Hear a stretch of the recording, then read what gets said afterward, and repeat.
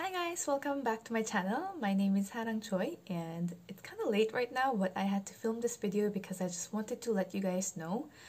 Um, actually, I think maybe a lot of people already know but a lot of people also don't know, just like myself, because I recently found out that NBME is actually providing five free um, NBMEs um, until the end of this month. So if you did not know this information, please go to the NBME website and purchase five different NBMEs for free. So if you're preparing for the USMLE right now, or you'll be preparing like after a few months maybe, because um, uh, you can only purchase it for free until the end of this month and it's going to be valid for three months.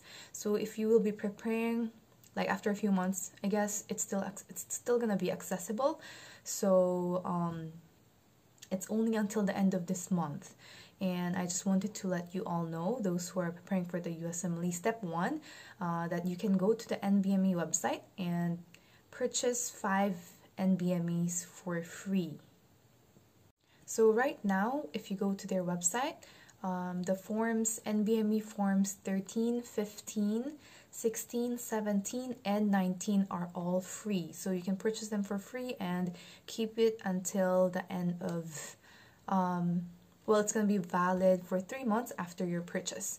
So if you haven't done so yet, um, definitely go and purchase it and hopefully can be useful to you. And for those of you who do not know what NBME is, um, NBME stands for National Board of Medical Examiners and um, they provide a lot of sample exams for different tests and NBME exams are actually really good indicators um, for your USMLE Step 1 exam, um, especially the Form 18, which is not for free right now, they're selling it, and one exam costs $60. So you're technically, by downloading these uh, free NBMEs, five of them, you're basically saving 300 US dollars. So go on their website now and um, purchase them for free while it's still available.